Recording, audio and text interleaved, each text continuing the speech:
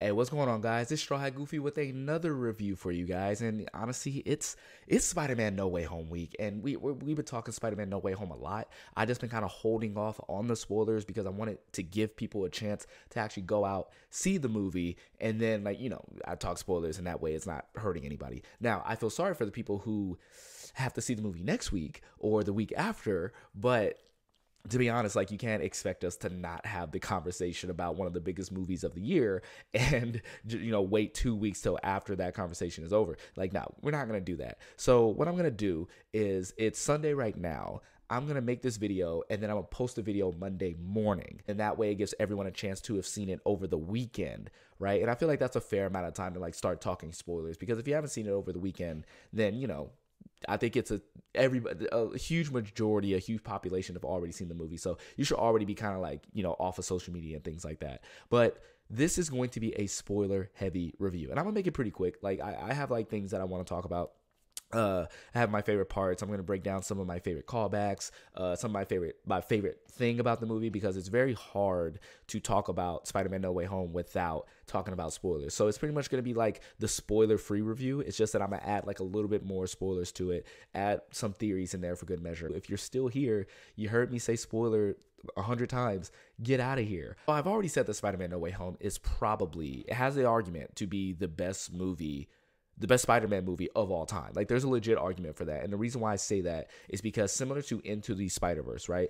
It uses multiple spider people, uh, in this case Spider-Men, to pretty much show you that Peter Parker, Spider Man, what it means to be that character, right? What makes this character so unique in the pantheon of other heroes and things like that. And one of those things is his relatability, his sense of uh, responsibility, his sacrifice, uh, just pretty much all those things, no matter what universe Peter Parker comes from, they all share the same kind of like code, the same morals, right? In terms of like this movie, it uses previous Spider Man uh, franchises and it says, no matter if you like Andrew Garfield more, if you like Tobey Maguire more, or if you like Tom Holland more, all these characters still share the same thing.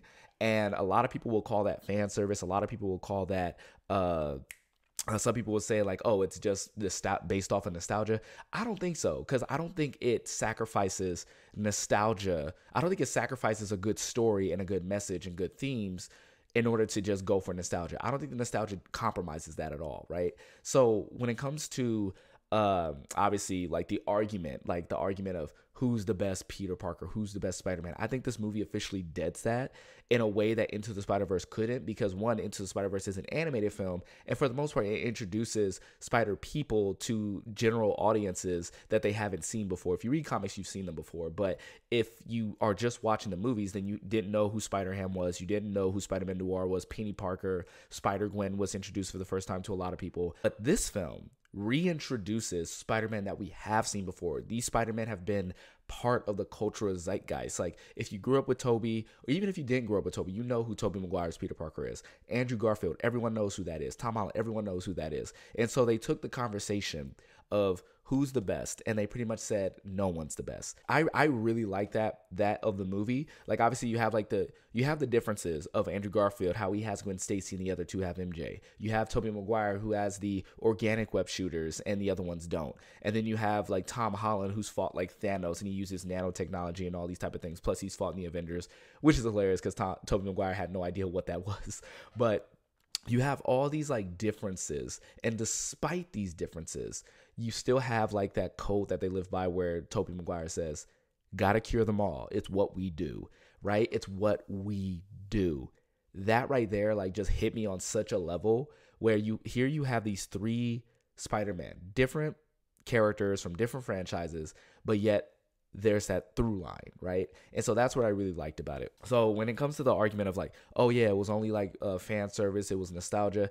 No, not really. I think I think it it wisely used its characters. I think it wisely did the callbacks uh, to where it wasn't distracting. But if you are a Spider-Man fan and you're in the know, then you're in the know. I feel like if you heard the like, for instance, perfect example, the callback where Norman Osborn says, "I'm something of a scientist myself." If you if you are not a fan of Spider-Man and you heard that, it, it wouldn't bother you, right? It wouldn't bother you. Similar to how it didn't bother you when he first said it in the first Sam Raimi Spider-Man. But if you know, if you're like really in, in, in, in ingrained into the culture of not only the internet, of just the Spider Man memes in general, you get a laugh out of that. And so that's a perfect example of a meme that was called back.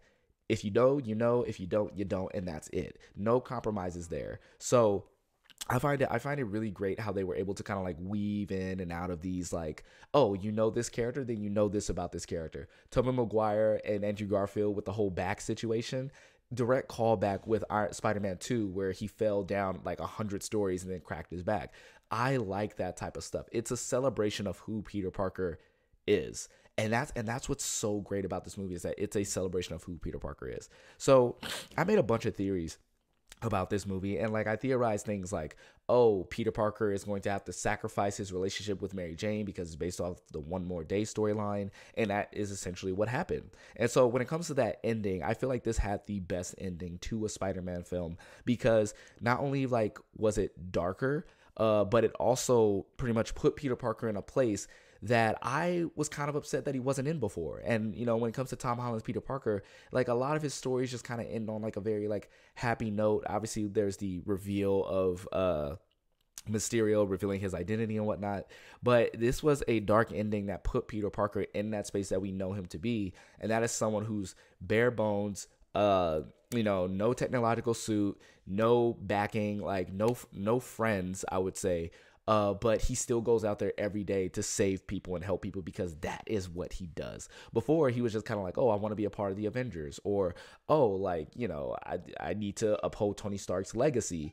But now it's like Tony Stark, if he was alive, wouldn't remember who he is. Uh, he doesn't have the Stark tech. He doesn't have the backing of the Avengers. Uh, nobody really knows who he is. But somebody like that could easily just start a new life. But instead, he goes out and helps people because that's his responsibility. That right there was probably one of the most perfect Spider-Man endings. It's right up there with Spider-Man 2 as as far as like perfect Spider-Man endings, right? A little Easter egg that I want to point out is that when he jumps out of his window and he's like flying over the Rockefeller uh, Center or however you want to say it. I don't live in New York, so don't come at me. But uh, uh, a lot of people have pointed out that that is the same place that the Hawkeye finale is going to be set, and I made a theory saying that okay, uh, Hawkeye is set during Christmas. Spider Man, or at least part of Spider Man, is going to be set during Christmas as well, with Rogers the musical happening and whatnot. That was tied into.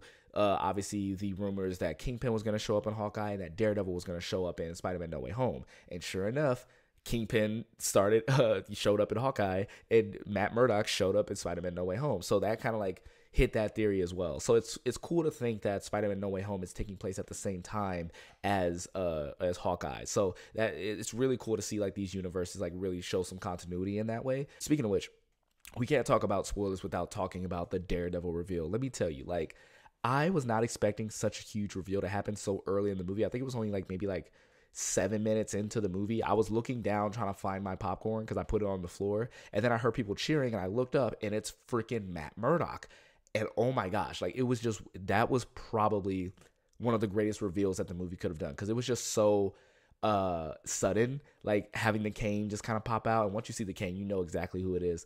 And so like seeing him advise peter was another theory that i had way back when when i said he's gonna need a lawyer for what's happening uh when his identity gets revealed and things like that. So it was one of those things that you could easily predict but there's still like a lot of red tape around it because like obviously he's part of the netflix series and you don't know if they're gonna make those canon or not.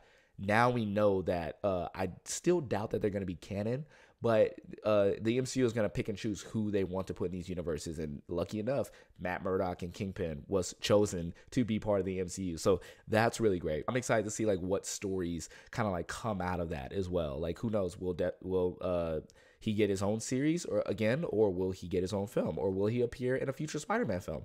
That could be pretty cool. Now let's talk about the villains. Okay, so the villains I've already said like uh, the villains had a reason to be there. Like the villains weren't just kind of like pop in and pop out. Like I, they all had like kind of like a three dimensional sense to them.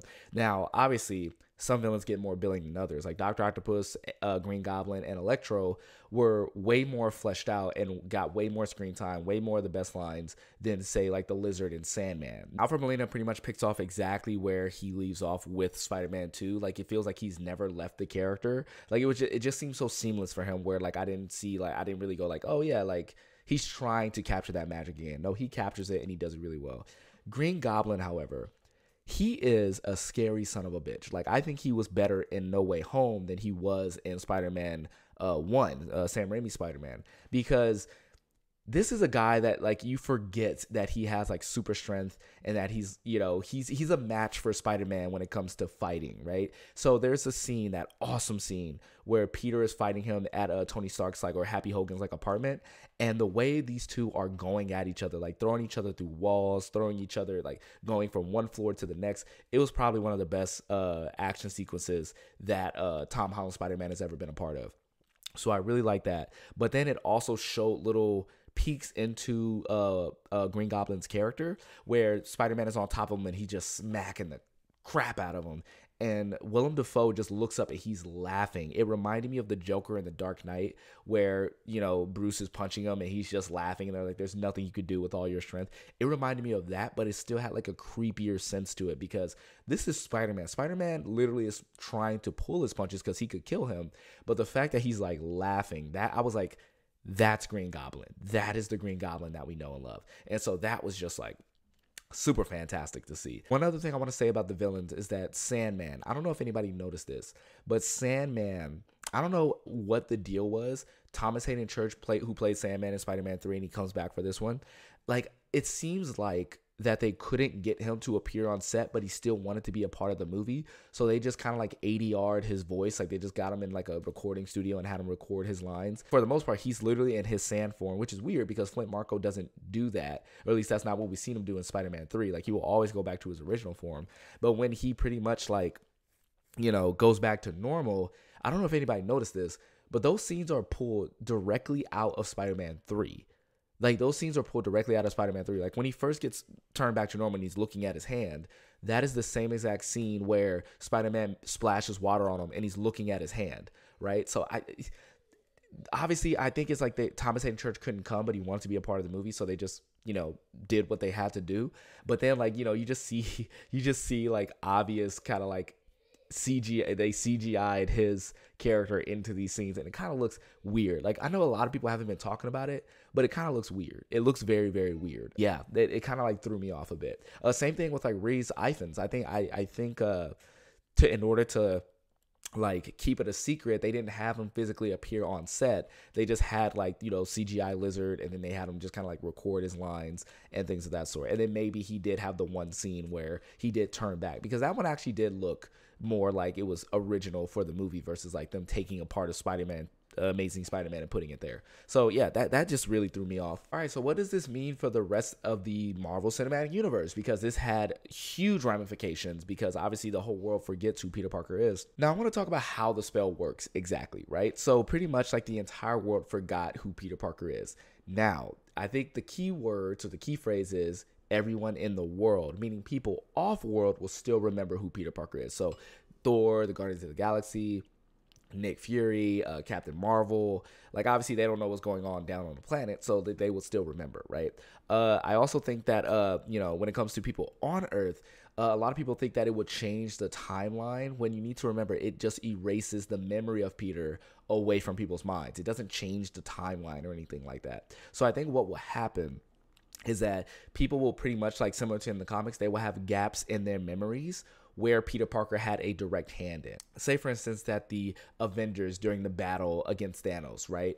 Uh, obviously, Spider Man had a huge part in that battle, but when the other Avengers now think of that moment, Spider Man is nowhere to be found. And they probably will like fill in the blanks and say, like, oh, Captain America did that one thing, or oh, remember where uh, that webbing hit this guy? That probably was Ant Man or something, right? They would just pretty much not try to think too hard on that because obviously it's a battle and like they don't want to remember every single detail. So I think it's gonna go like that. Now, if Peter Parker wanted to say like get a credit card or something, his social security number is still in there. It's just that the person who's like in charge of like giving those things out will just have to be reminded that Peter Parker is a person. Like Peter Parker is essentially a nobody, right? So, you know, all he'll my social security number is this, and then they'll look and say, Oh, it's right there they forgot Peter Parker existed, but they could always still like kind of like look him up. So I think that's how things are uh, to be progressing throughout the Marvel Cinematic Universe. It's to be really interesting to see like Peter Parker's story go forth, and like now he's kind of like this separate entity. It's like Peter Parker really always has been, right? Like he he usually teams up with the he's been a part of the Avengers, but he'll team up with the Avengers or team up with the Fantastic Four, and he's like his own thing that nobody knows his secret identity.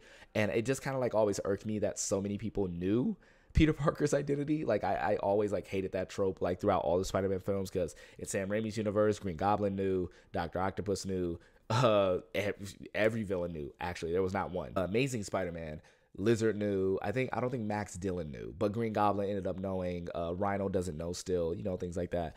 And then now with like the Tom Holland universe, Vulture knows, Mysterio knows. Like it, it just it finally gets us back to like the the true version of Spider Man. And speaking of true version, that suit was pretty damn awesome too. That was a pretty damn awesome suit. It's it's we talk about comic book accurate so much, and we always say that with like Andrew Garfield's the most comic book accurate, and then you know um, uh, Tom Holland Spider Man when he appeared in Civil War, obviously with some technological tweaks, still looks pretty comic book accurate. But now this looks comic book accurate. It's bare bones, no technologies like in it other than the web shooters. Honestly beautiful. It was honestly beautiful to see. But yeah, guys, uh, let me know like if you've seen Spider Man No Way Home. What was your favorite part of Spider Man No Way Home? Drop it in the comments. Obviously, if you've seen the movie, then you're welcome to. If you haven't, don't go in the comments at all. But uh, oh my gosh, like seriously, we could talk about this like all day. I think I'm going on 20 minutes now and it's, and it's going crazy. Uh, also, make sure you guys, you if you like this video, make sure you hit subscribe, make sure you hit like, make sure you hit the bell to get notified for my other videos. And uh, yeah, you guys take care.